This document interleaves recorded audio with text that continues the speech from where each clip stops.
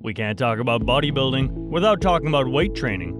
With weight training being the center of bodybuilding, professional athletes lifting heavy weights has always been the preconception. Therefore, it may be surprising to learn that there are professional bodybuilders that train with light weights. This video will look at the science behind high load training and low weight training, then draw a fact based conclusion. So ensure you watch till the end to get all the tidbits. Let's go. First, a quick review. A study review published by the International Journal of Environmental Research and Public Health, comprising 30 studies related to resistance training and hypertrophy, revealed that two principal things happen in your muscles when engaged in any workout. Your muscles experience mechanical tension and metabolic buildup. Both are catalysts for the muscle to start a hypertrophic process. The type of exercise you do determines which of these pathways you engage the most. So, for heavy weight training or high resistance training, you engage more mechanical tension with a little bit of metabolic buildup. On the other hand, lightweight exercise does not engage any of these two in any significant degree. The only way forward with low weight training is to have very high repetitions.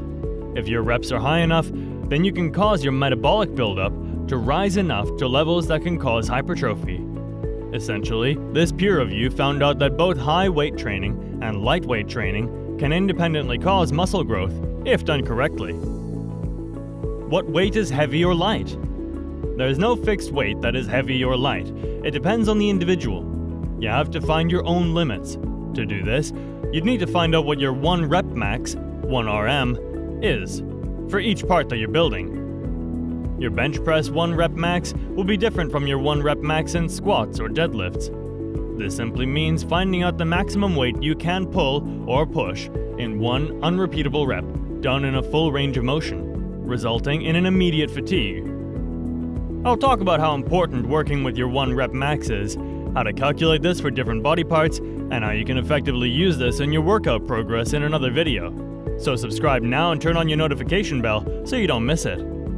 A low weight training would be one that involves using your body weight or using a load up to 60% of your 1RM, while a heavy weight training would involve 80 to 90% of your 1RM. Can both really cause muscle growth? In a study by the world renowned muscle hypertrophy researcher, Professor Brad Schoenfeld, PhD, it was discovered that both heavy and lightweight training resulted in muscle growth. Before you jump into conclusions here that any weight would give you a desired result, Please pay attention to the details of this study.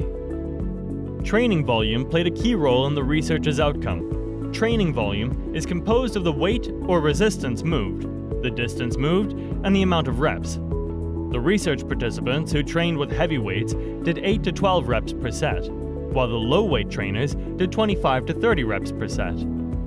This study has been misquoted by many influences in the bodybuilding world as a definite answer to the equality of both low and high weight training as long as the reps of the low weight training are higher and taken to the point of failure.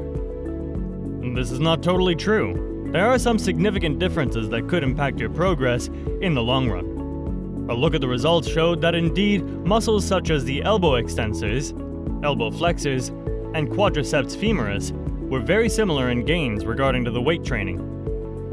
For example, the quadriceps femoris thickened by 9.3% for low weight training as and 9.5% for high weight training. But we see a great difference in strength and endurance gains.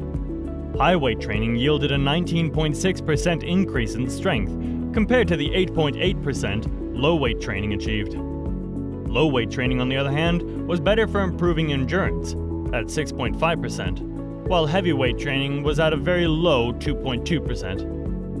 These results matter if you're seriously seeking the most efficient path to muscular hypertrophy.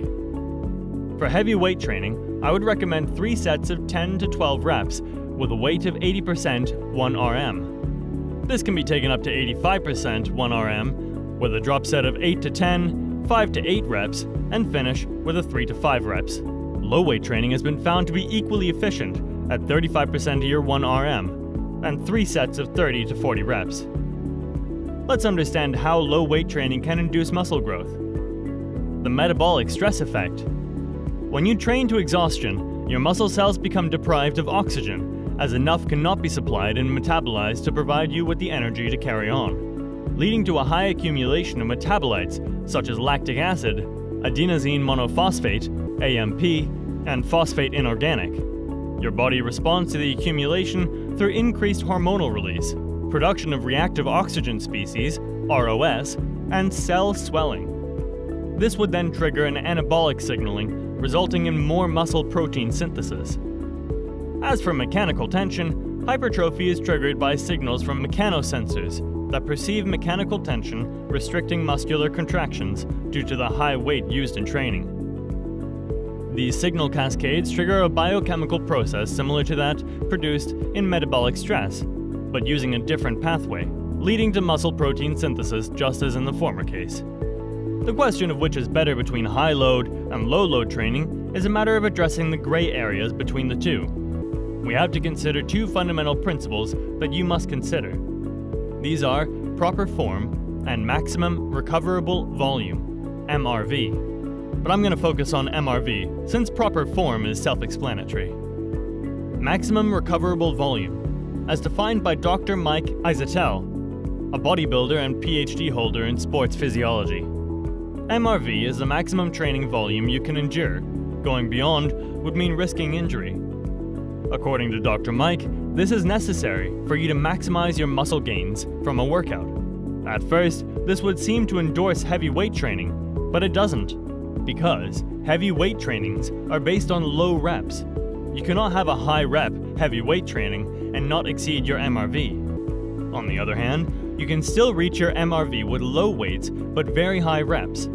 In both cases, a high training volume must be achieved. One of the issues you will have with low weight training is fatigue. You require very high reps to have an effective training volume. This could easily cause mental or physical fatigue because of the high repetition. It could be severe in some cases, causing nausea and vomiting. You're also likely to undermine your form. Doing high reps can easily lead to cheating, such as engaging momentum and gravity to aid your lifts and drops. This workout strategy also demands very high calories. You'd need to compensate for calorie loss because of the extended workout. If your calorie intake is low, this could reverse the results you're aiming for. At the end, it's an issue of practicality. The choice at the end of the day is how practical either strategy is. Heavy weight training would not be practical for trainers with joint issues, or anyone just recovering from injury. You can keep your training with low weights until full recovery. Beginners may also want to start with low weight training before moving on to high weights. As a matter of fact, a beginner is going to get faster results than an advanced trainer using low weights. So if you are a beginner, this is a strategy you can explore. Beginners may also lack form and experience needed to safely go into heavy weight training. Older trainers can also switch to low weights, high reps for safety reasons.